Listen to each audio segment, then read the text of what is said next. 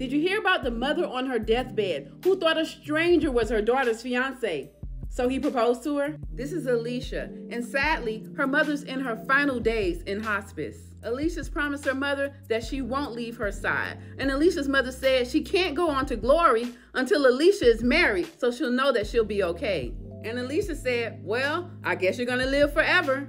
On the day mom's hospital bed was being delivered, in walks a strong and handsome man named Tony. Alicia's mother looked over at Tony and said, Are you my daughter's fiance? Tony said yes and immediately asked for Alicia's hand in marriage. Alicia's mother smiled as Tony called her mama and started talking about the family cookouts they would have. Alicia was so grateful that Tony went along with her mother's mistake that she thanked him profusely.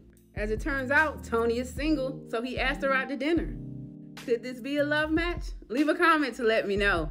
I'm Te-Erika with the T. Follow for more.